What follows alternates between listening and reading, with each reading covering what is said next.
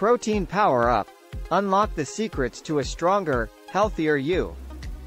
Welcome viewers to Health Facts 79 Channel C. Today, we're going to talk about the importance of protein in our diet and how to easily boost your protein intake. Protein is essential for building and repairing tissues, making enzymes and hormones, and maintaining a healthy immune system.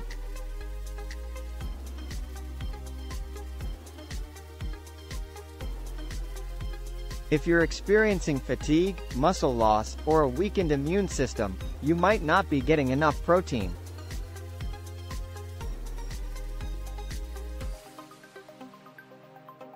Two.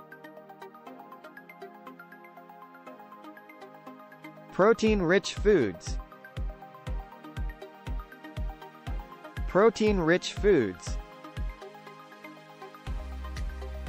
Lean meats, chicken, turkey, and lean cuts of beef are excellent sources of protein.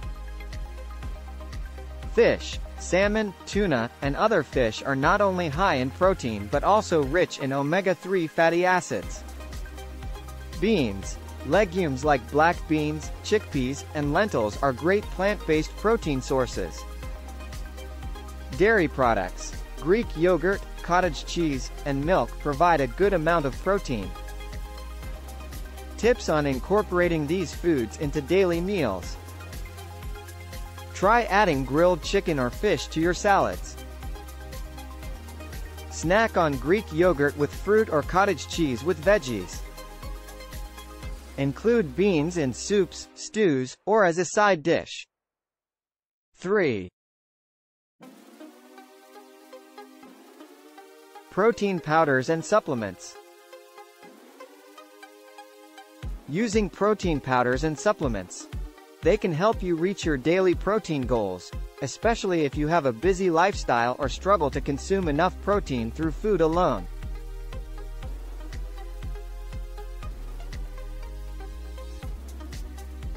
Types of protein supplements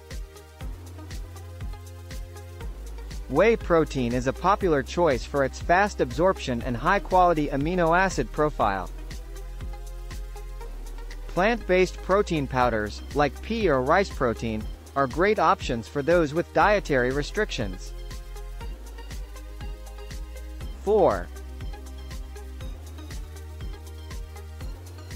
Plant-based protein options. Highlight plant-based protein sources for vegetarians and vegans. Tofu, tempeh, and seitan are versatile and protein-packed meat alternatives.